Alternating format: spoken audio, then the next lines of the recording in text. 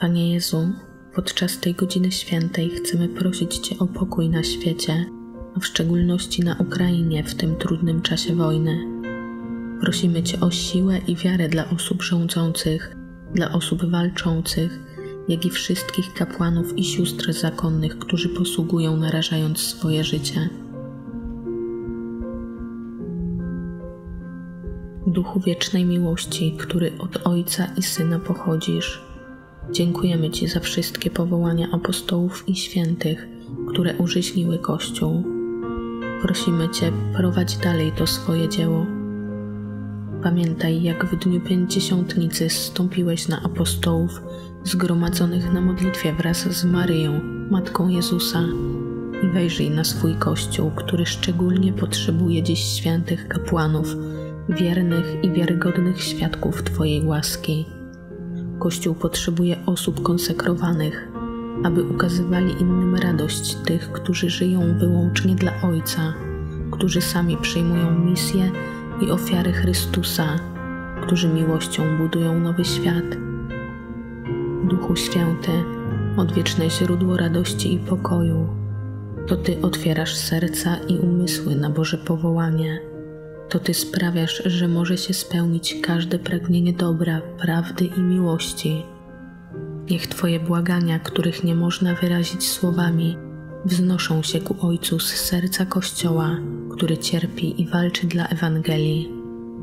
Otwórz serca i umysły młodych chłopców i dziewcząt, aby nowy rozkwit świętych powołań ukazał światu wierność Twojej miłości oraz by wszyscy mogli poznać Chrystusa, prawdziwe światło, które przyszło na świat, aby przynieść każdemu człowiekowi niezawodną nadzieję życia wiecznego.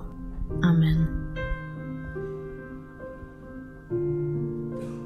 O Boże wielkiego miłosierdzia, dobroci nieskończona, oto dziś cała ludzkość woła z otchłani nędzy swojej do miłosierdzia Twego, do litości Twojej, o Boże, a woła potężnym swym głosem nędzy. Boże łaskawy, nie odrzucaj modlitwy wygnańców tej ziemi. O Panie, dobroci niepojęta, który znasz na wskroś nędzę naszą i wiesz, że o własnych siłach wznieść się do Ciebie nie jesteśmy w stanie. Przeto Cię błagamy, uprzedzaj nas łaską swoją i pomnażaj w nas nieustannie miłosierdzie swoje, abyśmy wiernie pełnili wolę Twoją świętą w życiu całym i w śmierci godzinie.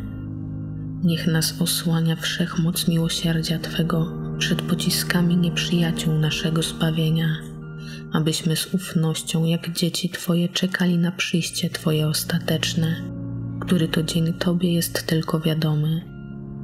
I spodziewamy się, że otrzymamy wszystko, co jest nam obiecane przez Jezusa pomimo całej nędzy naszej, bo Jezus jest ufnością naszą. Przez Jego miłosierne serce przechodzimy jak przez otwartą bramę do nieba.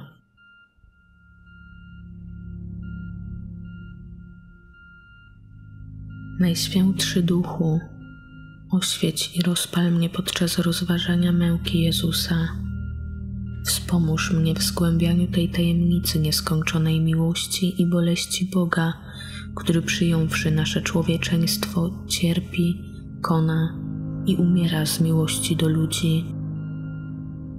Wspomóż mnie swą łaską, abym mogła wniknąć do wnętrza serca Jezusowego aby tam odkryć istotę jego goryczy, która doprowadziła go do śmierci tam w ogrodzie oliwnym.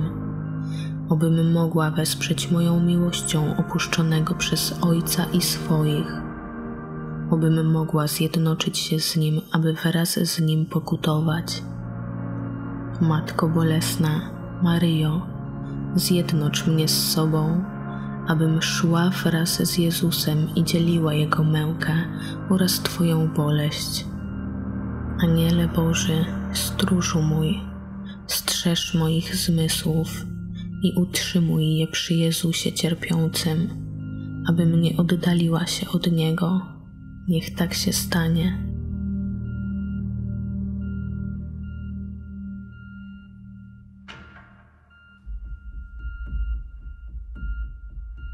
Gdy boski Zbawiciel doszedł do kresu swego ziemskiego życia, pozostawił siebie samego jako pokarm w sakramencie miłości i nakarmił swym niepokalanym ciałem apostołów. Potem udał się wraz ze swoimi uczniami do ogrodu oliwnego, miejsca znanego im i samemu Judaszowi. Podczas drogi z wieczernika do ogrodu oliwnego Jezus poucza swoich uczniów, przygotowuje ich do bliskiej już rozłąki, która niebawem nastąpi w czasie męki, a także do przyjęcia z miłości do Niego obelg, prześladowania i nawet śmierci, do odtworzenia w nich Jego jako boskiego wzoru.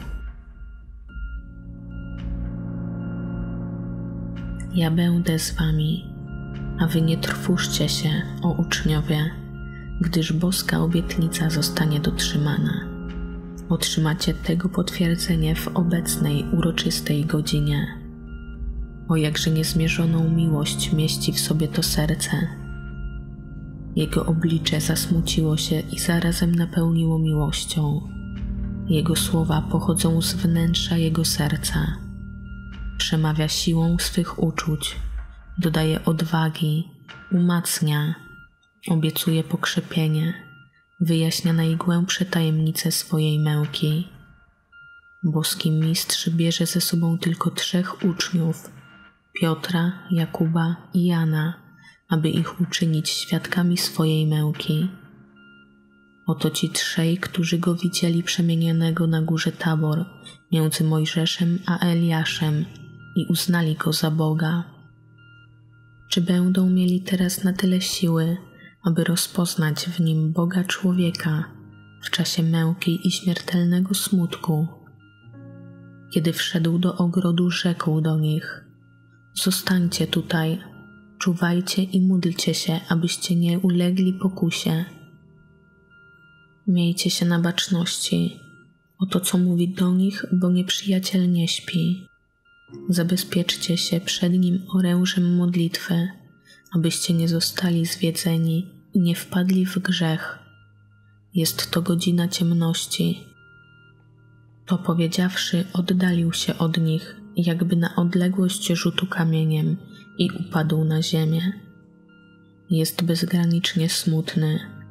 Jego dusza stała się łupem nieopisanej goryczy. Noc jest głęboka i jasna. Na niebie świeci księżyc pozostawiając w półcieniu ogród oliwny. Wydaje się, że posyła na ziemię złowrogie blaski, poprzedzające rzeczy wielkiej wagi i niepomyślne wydarzenia.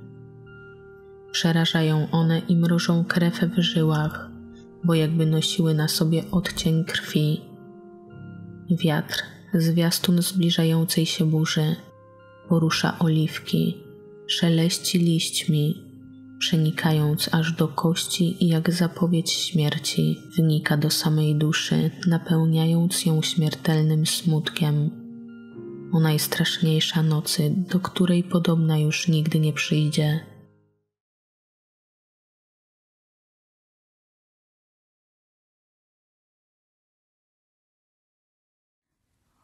Ogrodzie oliwny widok Tobie dziwny.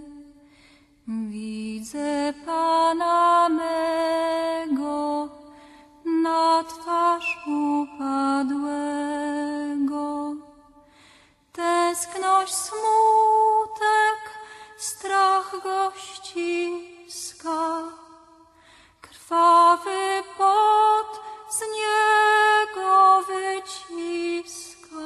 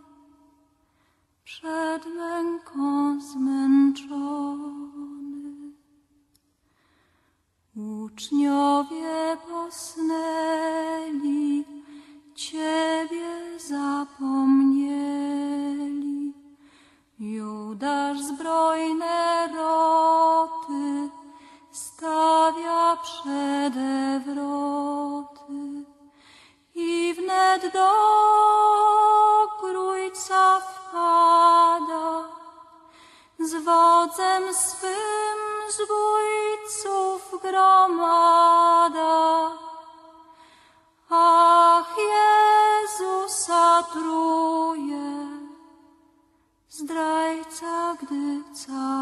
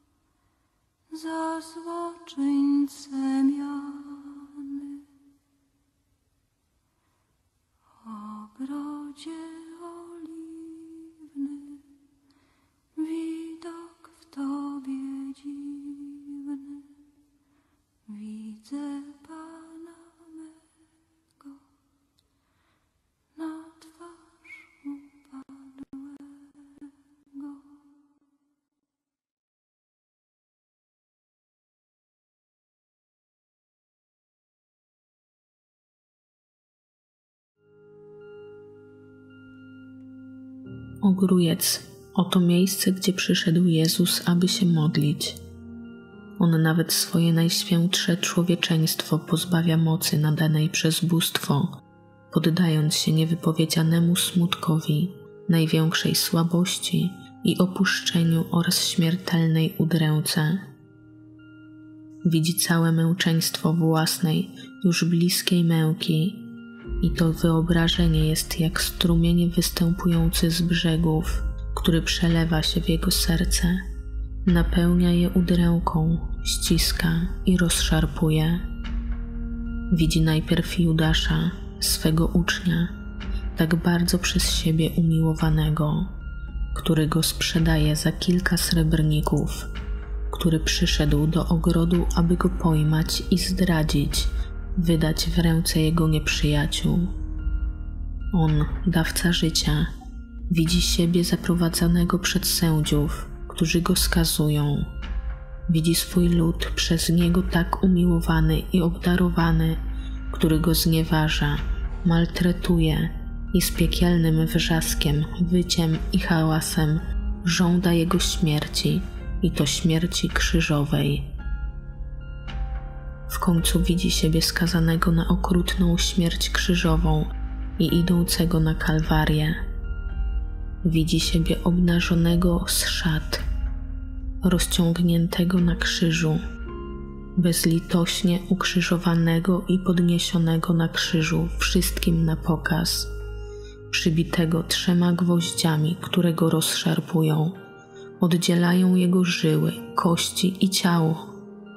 O Boże, jak długo trwa trzygodzinne konanie, tak wyniszczające i to pośród obelg szalonego i bezlitosnego tłumu. Jezus widzi swoje gardło i spieczone palącym pragnieniem wnętrzności. Widzi w tej strasznej męczarni, jak podają mu naczynie z żółcią i octem. Widzi siebie opuszczonego przez ojca, widzi głęboki ból matki, a na końcu okrutna śmierć między dwoma łotrami. Jednym, który go uznaje, uznaje jako Boga i zbawia się, i drugim, który mu bluźni i urąga, umierając w rozpaczy. Widzi Longina, który już gotuje się, aby mu okazać najwyższą zniewagę i pogardę, i otwiera mu bok i jak wszyscy śmiertelni przyjmuje jeszcze upokorzenie grobu. To wszystko stanęło przed nim, aby go dręczyć, i Jezus przeraził się. To przerażenie napełniło jego boskie serce, zadając mu tortury. Drży tak, jakby go owładnęła najwyższa gorączka. Całkowicie opanowuje go przerażenie, a jego duch obumiera w śmiertelnej trwodze. On, niewinny baranek, porzucony wśród wilków, samotny, bez jakiejkolwiek obrony. On, Boży Syn, baranek wydający się dobrowolnie na ofiarę dla chwały tego samego Ojca, który go opuszcza pośród szaleństwa piekielnych mocy dla odkupienia rodzaju ludzkiego. Opuścili go jego uczniowie, uciekają od niego, jakby był kimś bardzo niebezpiecznym. On, przedwieczne słowo Boga, wydany na pastwę swych nieprzyjaciół. Ale czy on się wycofa? Nie. Od samego początku przyjmuje wszystko wielkodusznie i bez zastrzeżeń.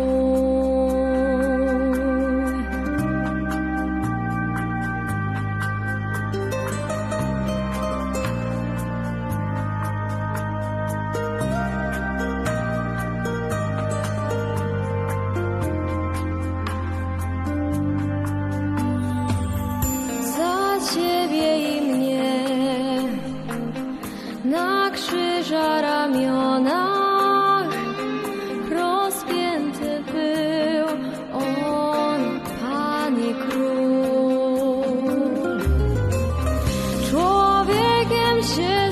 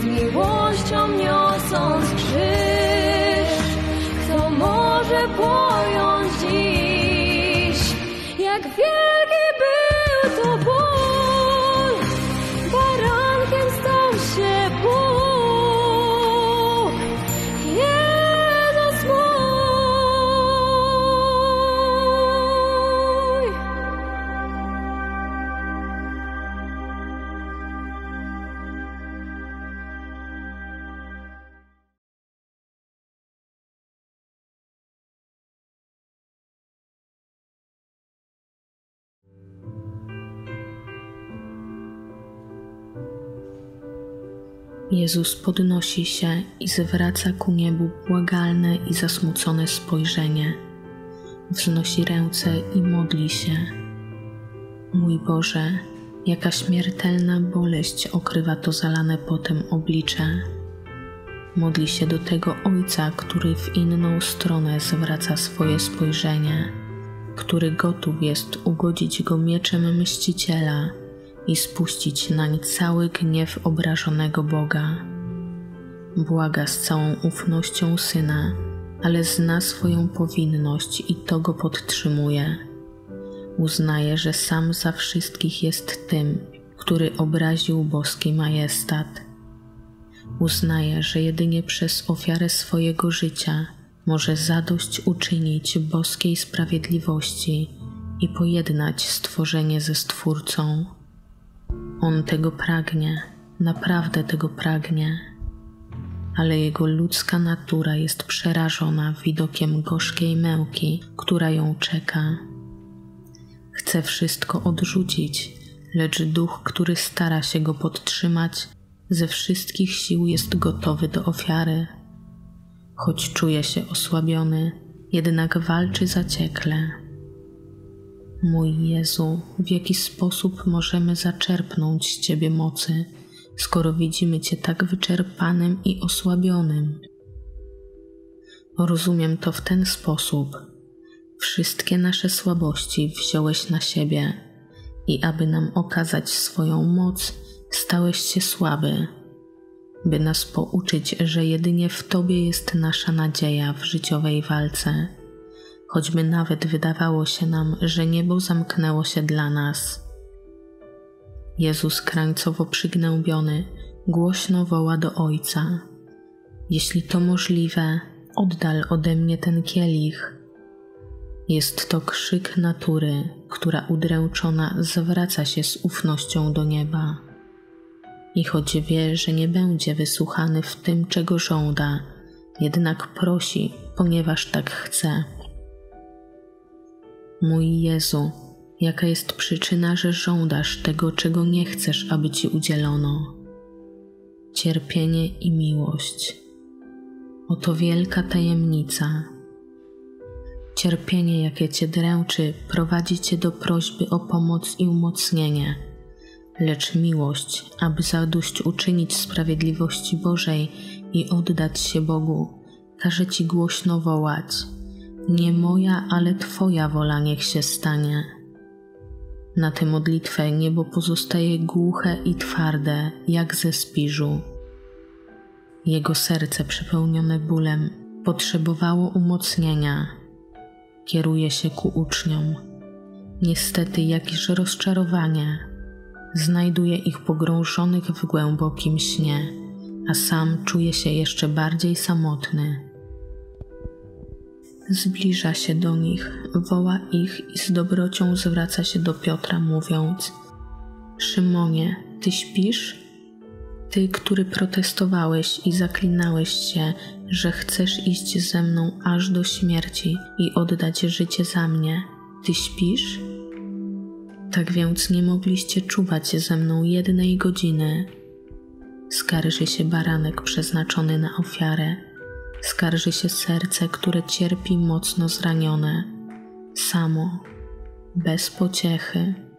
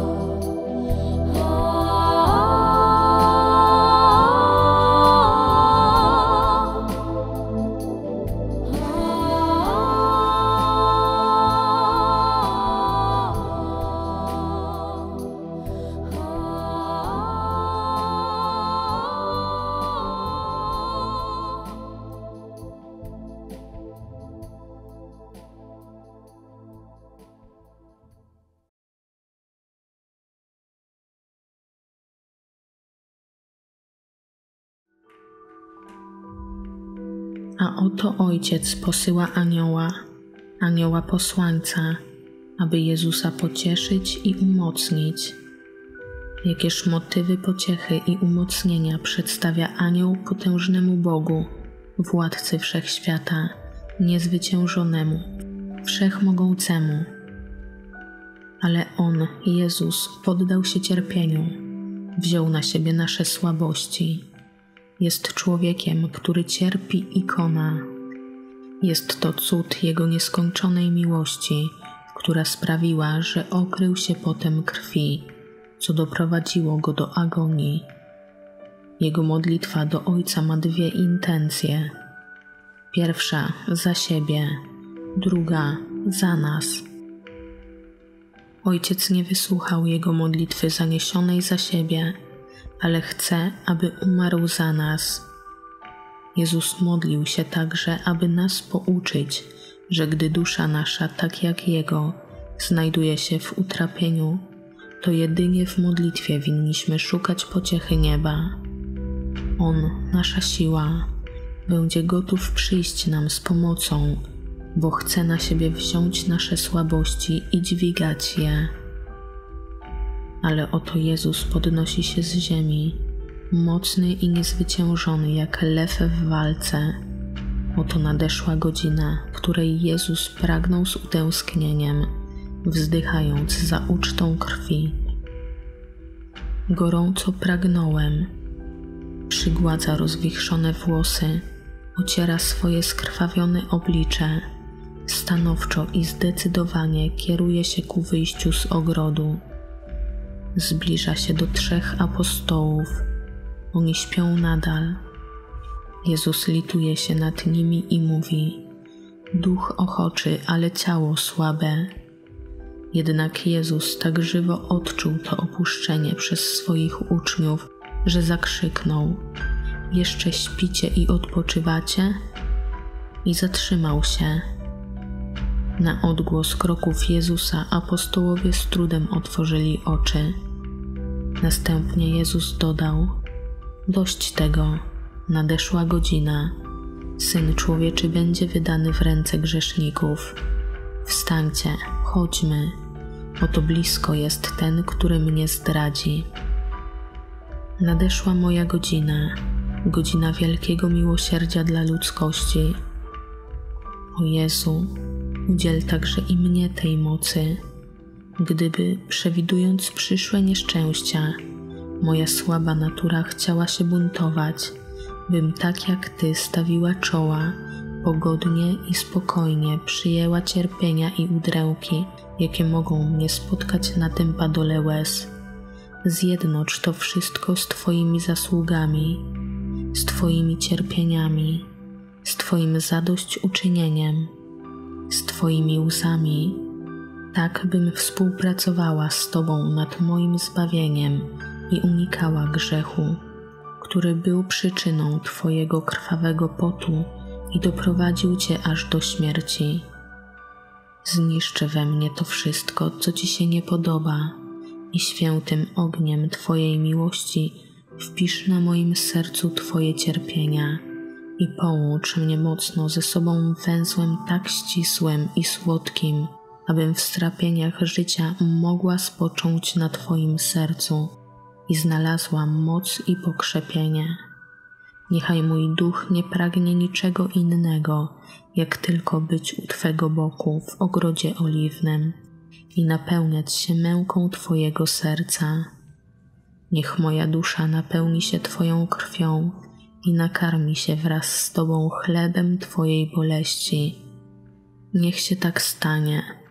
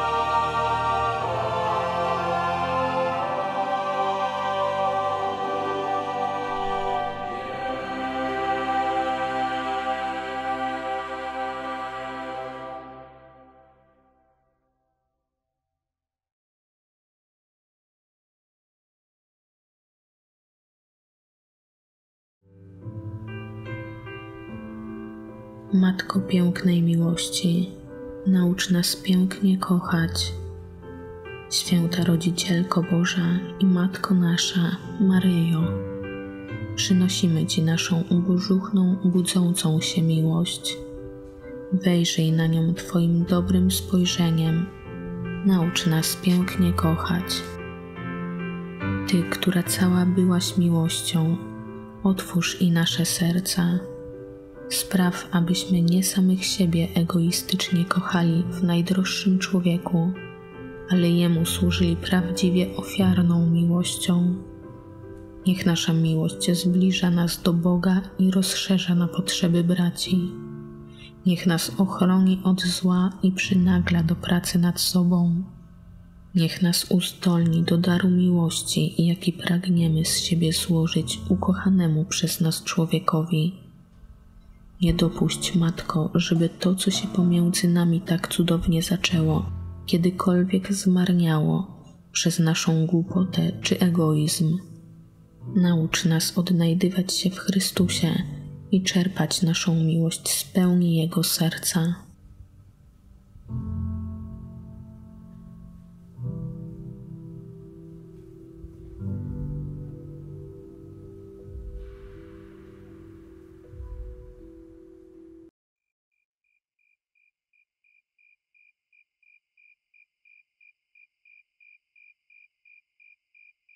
Dobranoc,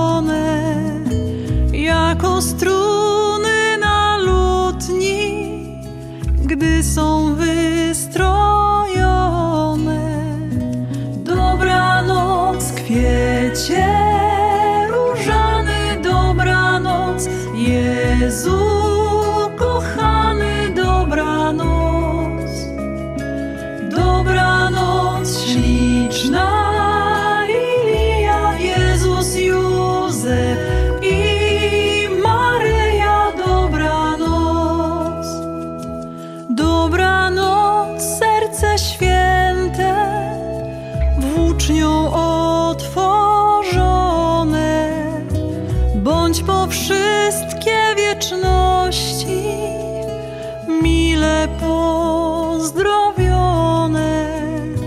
Dobranoc, kwiecie różany, dobranoc, Jezu kochany, dobranoc. Dobranoc, śliczna